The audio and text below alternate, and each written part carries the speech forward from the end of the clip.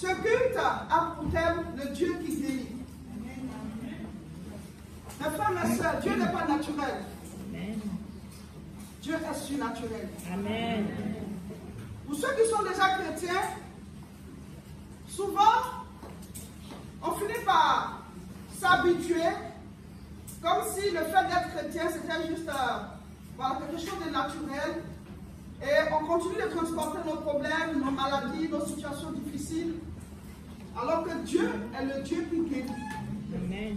Dieu est le Dieu qui libère. Amen. Dieu est le Dieu qui donne la vie. Alléluia. Et la vie en abondance. Amen. Amen. Amen. Acclame-le.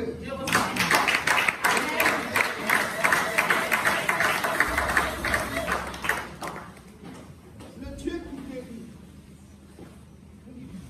L'éternel est le Dieu qui guérit. Nous allons lire Genèse chapitre 1, le verset 1.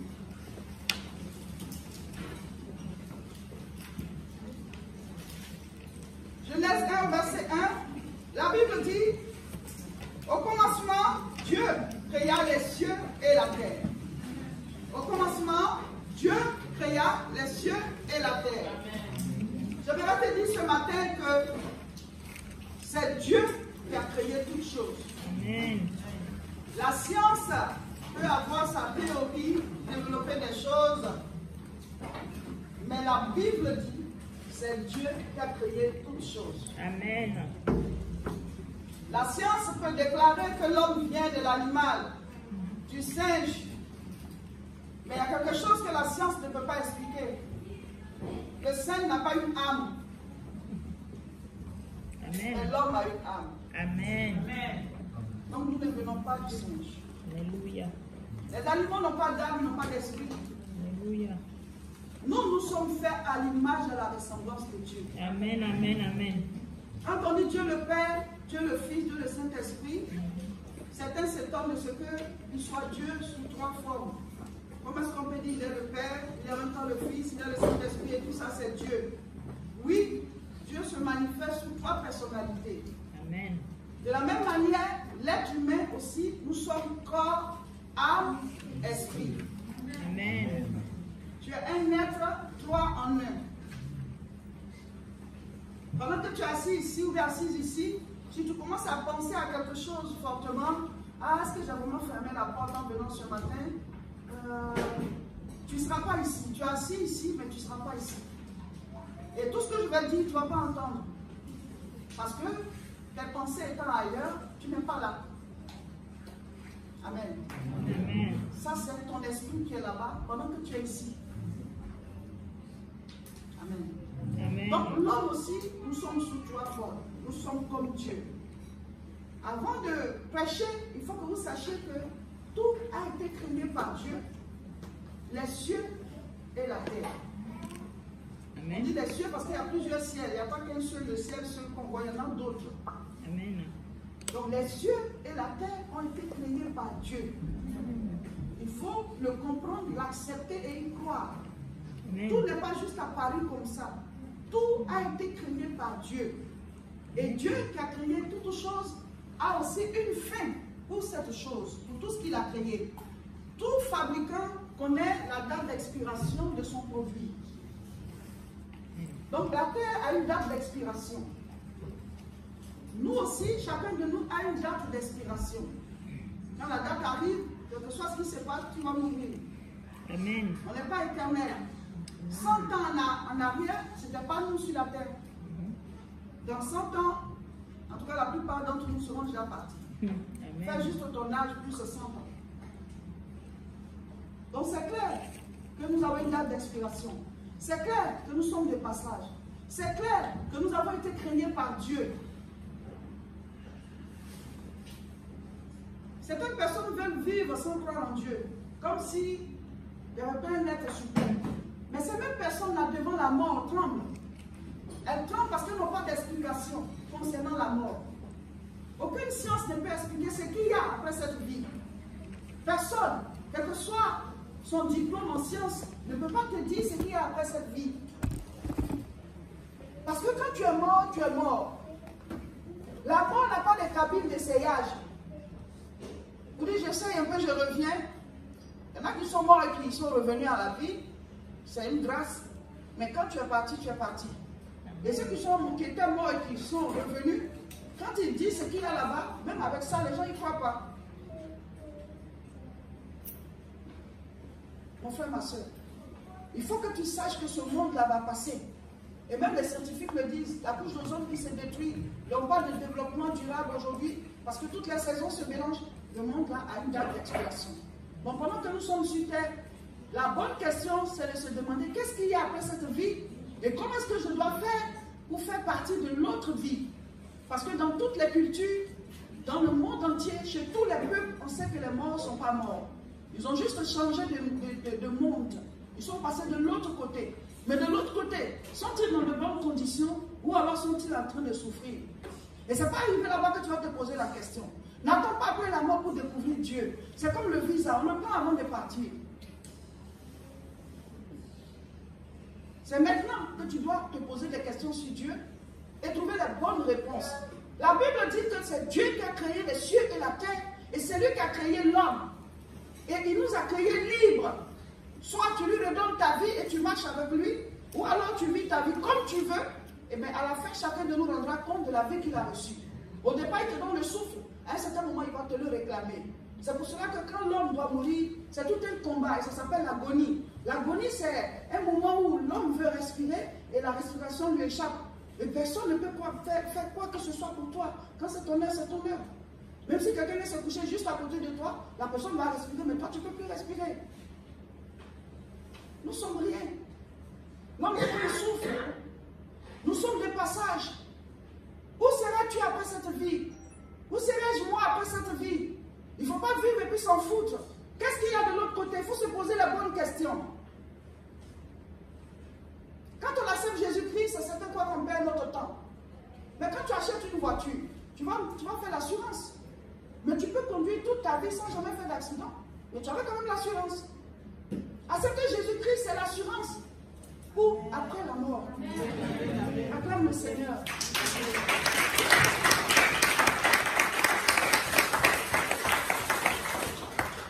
Il est la victime expiatoire pour nos péchés. Le péché, c'est quoi? Le péché, c'est le délit spirituel. Quand tu as commis un délit, ben soit tu seras emprisonné, ou alors tu as des amendes à payer. Mais dans le monde de Dieu, le péché, c'est le délit. Et Dieu a sa justice. Quand on parle du dernier jugement, quand on parle de jugement, c'est qu'il y a un tribunal. Il y a le tribunal des hommes, il y a le tribunal de Dieu. On sera jugé. Mais la Bible dit, l'homme pêche de manière naturelle. Donc nous ne pouvons pas nous-mêmes nous empêcher de pécher. Qu'est-ce qu'il nous faut? Il nous faut une force supérieure qui vienne habiter en nous et qui nous donne la force de faire le bien. Et cette force supérieure, c'est l'Esprit de Dieu. Mais tu ne peux pas recevoir l'Esprit de Dieu tant que tu n'as pas été sanctifié. Parce que l'Esprit de Dieu, il est saint. Non, il ne peut pas habiter dans un corps où il y a le péché. Mais Dieu ne te dit pas que toi-même tu dois te sanctifier. Non, c'est lui qui te sanctifie. Il te sanctifie par quoi? Par le sang de la victime expiatoire qui est Jésus. Amen. Dieu a prouvé pour qu'on soit racheté de nos mauvaises œuvres, de nos mauvaises paroles, de nos mauvaises pensées, de nos mauvais actes. Parce qu'avec ça, on ne peut pas aller chez Dieu après la mort. Parce que Dieu est saint, saint et saint. C'est comme si tu étais vêtu, de, tu étais vêtu de, en blanc et ton enfant il s'est sali. Tu ne peux pas juste tout, juste tout de suite le prendre, tu vas te salir avec lui. Tu vas d'abord le laver. Amen. Quand on dit Dieu est saint, saint, saint, ça veut dire spirituellement parlant, il est, euh, il est, il est, il est, il est bien blanc. Et ce n'est pas juste un blanc comme ça, trois fois blanc. Donc juste une petite saleté, ça se verra. Et si Dieu n'est plus saint, on est foutu. Il doit rester saint. Donc, comme il ne veut pas nous rejeter, il a envoyé Jésus-Christ pour payer pour nous. Mais malheureusement, les hommes peuvent tout accepter sauf lui. Lui, justement, qui est la victime expiatoire pour que nos péchés soient effacés et que nos noms soient écrits dans le livre de vie et que nous recevions l'Esprit de Dieu qui nous donne la force désormais de marcher selon la parole. Sinon, de nous-mêmes, on ne peut pas. Naturellement, on est méchant. Quelqu'un t'a rien fait, tu le vois pour la première fois, tu vois sa tête. Il y a le mal en nous. Mais quand nous recevons le Saint-Esprit, de manière naturelle, on fait le bien. On devient bon comme Dieu. Amen. Donc Dieu ne te dit pas de te sanctifier toi-même. Il dit de venir à lui et de recevoir Jésus. Quand tu reçois Jésus, tes péchés sont effacés. Alors le Saint-Esprit vient en toi. Tu reçois une nouvelle vie. Tu fais ton entrée dans le règne de Dieu, dans la maison de Dieu, dans le royaume de Dieu. Jésus a dit à Nicodème, si un homme ne naît de nouveau, il ne peut voir le royaume de Dieu. Le royaume de Dieu est là, mais n'est visible que quand tu es né de nouveau. C'est comme nous, nous marchons, nous nous dépassons, nous sommes dans la société, mais il y a des gens qui sont initiés en sorcellerie, ils sont initiés mystiquement parlant. Donc nous sommes assis, il y a des choses que nous on ne voit pas, mais qu'eux ils voient. Amen. Pourquoi? Parce qu'ils ont été initiés. Et ça, ça existe. Et c'est Dieu qui n'existerait pas. La sorcellerie existe. Et c'est Dieu qui n'existerait pas. L'occultisme existe. Des gens jettent des mauvais sorts. Ils font toutes sortes de gris On chante même avec ça. Je te jetterai des sorts pour que tu m'aimes encore. Donc les sorts, ça existe. Si on peut en jeter pour que quelqu'un t'aime, ça existe les sorts. Même pendant la fête d'Halloween, les enfants ils toquent à la porte. Des bonbons ou des mauvais sorts Je dis non, mon chéri, chez, nous ici on ne reçoit pas les mauvais sorts, ici c'est la bénédiction. Pourquoi est-ce qu'on initie les enfants aux mauvais sorts Donc ça existe les mauvais sorts. Pourquoi les gens lisent dans des boules? Pourquoi ils, font la numérologie? Pourquoi est-ce qu'ils ils- ils peuvent lire dans tes pommes? Pourquoi est-ce qu'ils font l'horoscope? Tout ça, ça existe. Et c'est Dieu qui n'existe pas. Et c'est la puissance divine qui n'existe pas. Quelqu'un peut ne pas mettre la tête, il te jette de mauvais sorts. Il peut te faire faire des accidents. En vaudou, on te fait une poupée à ton effigie. Quand on casse le pied de la poupée, quelque chose se passera, tes pieds vont se casser. Ça, ça existe. Et Dieu n'existe pas. Les talismans existent et Dieu n'existe pas. L'homme a rejeté tout ce qui est Dieu. Oh, c'est lui le créateur, c'est lui le tout-puissant. Sans lui. Amen. Mais quand tu es en lui, tu es protégé. Amen. Quand tu es en lui, son esprit est en toi. Il y a sa gloire en toi, il y a sa lumière en toi. Il te dirige, il te protège. Il te restaure, il veille sur toi. Acclame le Seigneur, il est Dieu, il existe, il est réel. Jésus, Jésus, Jésus, Jésus. Avec qui respect toi pour le salut de l'humanité. Quiconque accepte reçoit la vie éternelle. Acclame-le encore, Jésus. Alléluia. Il est Dieu. C'est Jésus que nous devons prêcher à ce monde qui souffre. Amen. C'est Jésus que nous devons prêcher à ce monde où il y a la guerre, Amen. où il y a des maladies incurables, où le cancer bat son plein dans les hôpitaux, où il n'y a plus de solution. Là où la science s'arrête, la main de Dieu commence. Dis-moi Amen. Acclame-le.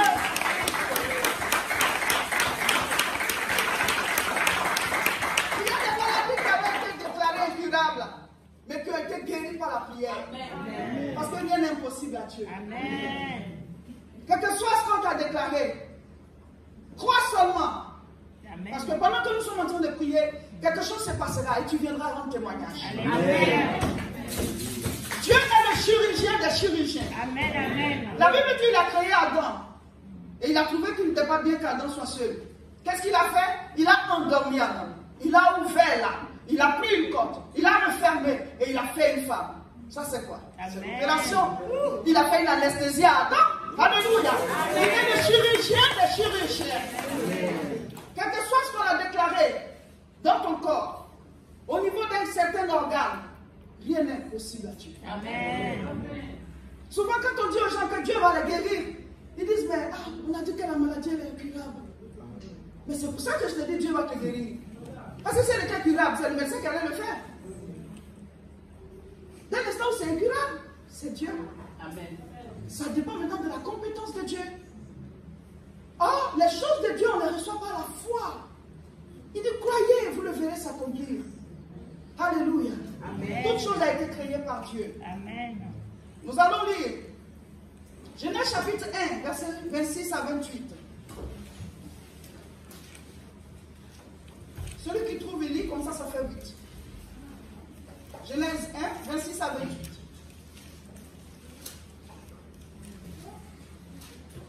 la parole. Amen. Toutes deux faisons l'homme à notre image, selon notre ressemblance, et qu'il domine sur toutes les, les, poissons de la mer, sur les oiseaux du ciel, sur les pétales, sur toute la terre et sur toutes les reptiles qui rentrent sur la terre. Dieu créa l'homme à son image, il créa à l'image de Dieu et, et il créa l'homme et la femme. Dieu les bénit Oui. et Dieu leur, et Dieu leur dit Soyez féconds, multipliez, remplissez la terre et la sujettissez, la sujettissez Mhm. et dominez sur, tout- sur tous les poissons de la mer, sur tous les oiseaux du ciel et sur tous les animaux qui se mettent sur la terre. Amen. Sois béni, mon frère. Chers frères et sœurs, j'aimerais vous dire à partir de ce passage qu'on a lu que Dieu, quand il a créé l'homme, il a béni. Dieu ne nous a pas maudits. Dieu nous a bénis. Amen. Tu as été béni par Dieu. Amen. Dieu aime les hommes. Amen. Nous sommes son chef-d'œuvre. Vous voyez, Dieu, il a créé toutes choses. Il a créé la terre, il a créé les cieux, il a créé les planètes, les astres et tout. Mais, et les anges et tout. Mais son chef-d'œuvre, c'est l'homme. Amen. Nous sommes la perfection de sa création. C'est pour ça que Dieu aime l'homme. Il s'est regardé, il dit, bon, on va faire quelqu'un comme nous-mêmes. Et il nous a créés. Il a créé le premier homme. Il a dit, bon, on va créer son semblable. On va pas créer encore une autre personne. On va le sortir, on va sortir dans son semblable de lui. Et il a créé Ève. Et il a dit, bon, eux ils doivent remplir la terre. Je veux les voir, je veux qu'ils soient nombreux. Quand je les regarde comme ça, je dis, waouh, j'ai fait une bonne chose. C'est ça que Dieu voulait. Et quand Dieu l'a créé Adam, il l'a mis sur la terre. C'est la terre qu'on appelait Éden avant. Parce que c'était beau, il y avait tout, il y avait la paix, il n'y avait, avait pas de problème. Et Dieu venait voir Adam régulièrement. Les deux parlaient, les deux causaient. Dieu t'a pas créé pour que tu sois seul. Dieu t'a créé pour avoir une relation avec toi. Le vide qu'il y a dans, la vie de l'homme, c'est l'absence de Dieu. Il y a un homme de Dieu qui a dit, le vide qu'il y a dans le cœur de l'homme a la forme de Dieu. Tu mets Dieu à la place, c'est ok. Et c'est ce vide-là que chacun essaie de combler à travers des vices. Celui qui prend tout le temps l'alcool, a un manque. Celui qui fume, c'est un qu'il veut combler. Ceux qui prennent la drogue, c'est pareil. Il y a quelque chose qui leur manque, ils ne savent pas ce que c'est. Tous ces vices-là, c'est l'homme, c'est Dieu que l'homme cherche. Quand tu reçois Dieu dans ta vie à travers Jésus-Christ, parce que c'est le chemin pour recevoir Dieu. Il dit, je suis le chemin. Il n'a pas dit, je suis un chemin. Le. Quand on dit le, ça veut dire c'est le seul. Il est le chemin, la vérité et la vie. Il n'a pas dit, je suis une vérité. Donc quand tu reçois Jésus, alors la porte est ouverte pour que Dieu vienne vivre en toi. Amen. Et il vient vivre en toi par quoi? Par son esprit. Amen. Chacun de nous a un esprit en lui. Ça, c'est l'esprit humain. Tu as ton esprit. Mais quand tu reçois Dieu, l'esprit de Dieu vient habiter en toi. Alors, il envahit ton esprit et tu n'es plus seul. Donc, tu n'es plus un être juste humain. Tu as un côté surnaturel à cause du Saint-Esprit qui est entré en toi. Amen. De sorte que le jour où chacun de nous décède, ce corps retourne à la poussière. Mais nous, ayant reçu l'Esprit de Dieu qui est éternel, on a la vie éternelle. Amen. Donc un homme qui n'a pas reçu Dieu, il est juste humain. Quand il est mort, c'est fini. Et il ira rendre compte de ses actes. Parce que la seule chose qui efface nos péchés, c'est le sang de Jésus. Amen. Mes frères, mes soeurs, la Bible dit, heureux ceux qui croient sans avoir vu. Amen. Heureux ceux qui sont comme des enfants. Parce que le royaume des cieux leur appartient. Ceux qui veulent qu'on leur explique tout avant de comprendre, ils ratent beaucoup de choses. Amen. Dieu nous a bénis. Dieu ne nous a pas maudits. Dieu ne nous a pas rejetés. Souvent, on peut être incompris autour de nous, mais Dieu, il nous comprend. Amen. Parce qu'il a le pouvoir d'entrer en nous. Quelqu'un m'a dit, oui, j'ai fait des cauchemars, la nuit on me poursuit, je dis, accepte Jésus.